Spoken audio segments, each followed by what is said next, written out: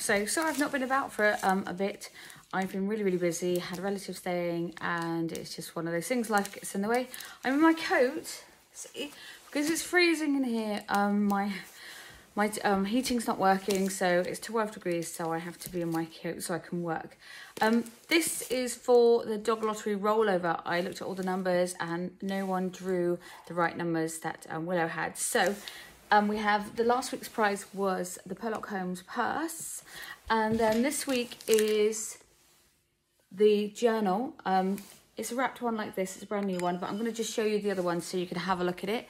So these are um, the accented gold journals. See, they've got really lovely spines. And there's gold accents, got spider webs. This is Adventure Awaits and has details about the artwork in there lovely big thick pages to sketch in, recipes, book of shadows, whatever you like. Book of shadows should not be lined because it can have recipes and sketches as well. So this would be traditional book of shadows, shadows um, book and you can use it as a sketchbook or recipes or addresses, phone numbers, whatever you want to do.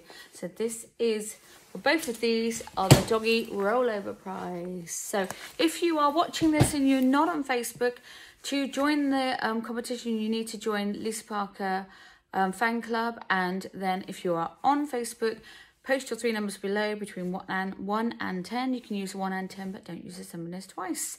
I will draw the competition on Friday using one of Willow's old videos.